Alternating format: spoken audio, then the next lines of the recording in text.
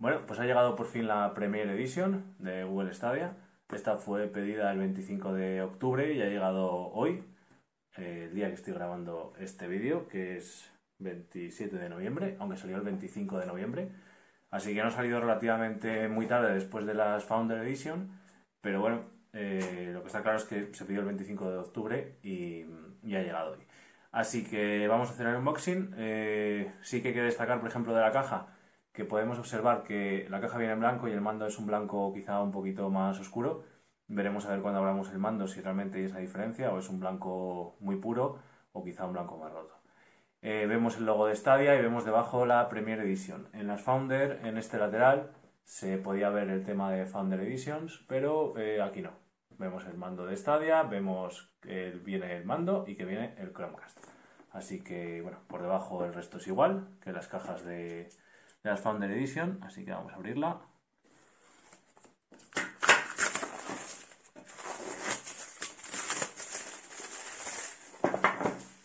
Y bueno, pues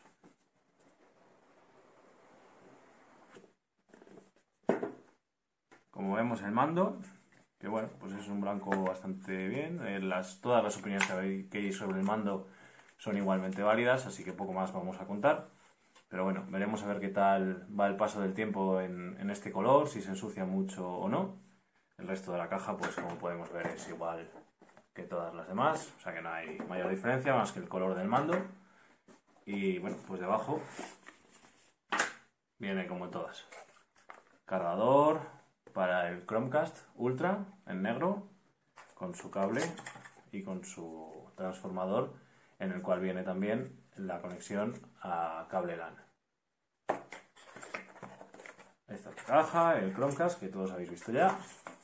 Y bueno, pues nos viene aquí, en este caso, el logo de Stadia.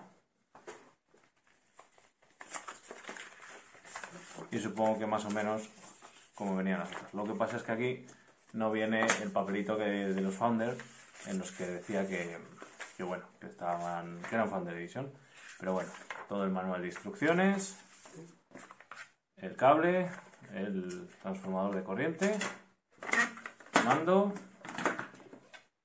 Chromecast y todo lo que viene en las Founder Edition. Ya sabéis que las Premier Edition no tienen el Body Pass, esos tres meses de regalo para un amigo que sí tienen las, las Founder Edition y poco más. Ya iremos haciendo el resto del review y esto es todo. Un saludo.